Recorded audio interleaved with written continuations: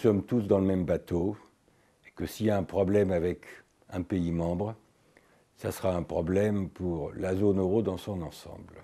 Peut-être qu'on a été un peu, un peu rapide dans l'élargissement de la zone euro, mais ça c'est le passé. Maintenant nous sommes 17, il faut faire avec. Euh, les allers-retours, euh, on sort, on rentre, tout ça, ça me paraît vraiment ni souhaitable ni, concevable. La monnaie unique, c'est une forme de mariage.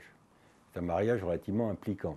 Et c'est, d'une certaine façon, peut-être encore plus difficile de divorcer dans, ce cas-là que dans d'autres cas.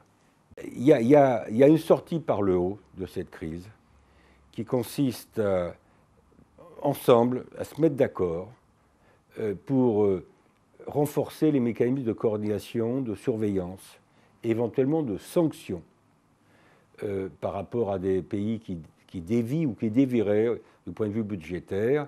Je crois que ça fait partie des leçons qu'il faut tirer de cette crise